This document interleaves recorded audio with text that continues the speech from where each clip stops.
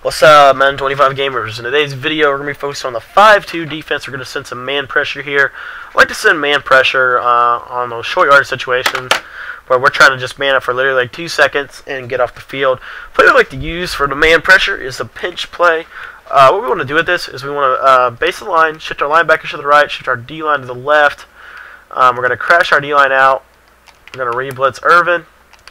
And then if we want to, we can reblitz Wright over the A gap, or we can just put him in a zone and sit him over the A gap. This is going to give us left edge pressure, uh, just like out of our base play. Now, what we want to do though is we want to also send two way. So if they block a running back here, so if they block Miller or something, we're going to uh, globally we're going to globally reblitz our right outside linebacker here.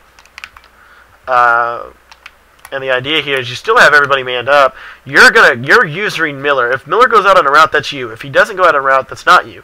And again, this is probably the only time we're going to, uh, you see there he's going to pick up one edge, but the other edge will come free. So here you see Miller's to stay in a block, and we're still to get that heavy pressure off that left edge, which is what I really like about it. The only way to truly stop this pressure is to block both guys. And if you want to um, send pressure that will get in against this, what you can do is, is you can sit with Wright over the A gap, and when you see that the guy is there, then you can just loop around with Wright up the, up the B gap if you want or whatever. But the idea here is a lot of times they're not going to block multiple guys like that. Um, it's very rare.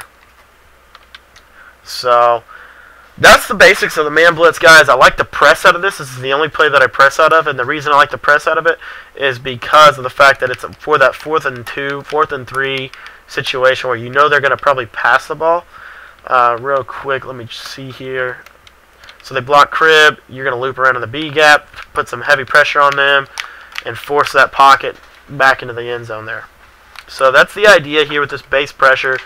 Um, most of our pressures can be picked up with just blocking a halfback.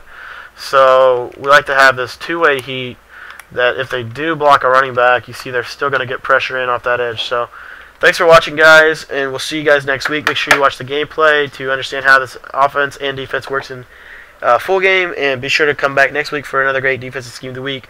Thanks for watching. Give me feedback in the comments below. I'd really appreciate it. How was the scheme this week, and how was the video and whatnot? And we'll see you guys next week. Thanks for watching.